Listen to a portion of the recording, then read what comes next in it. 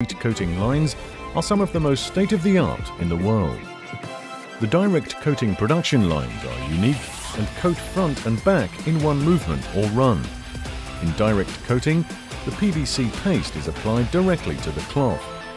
With direct coating, we make technical textiles for truck tarpaulins, side curtains, sports mats, tents, bouncing castles and swimming pool covers, amongst others.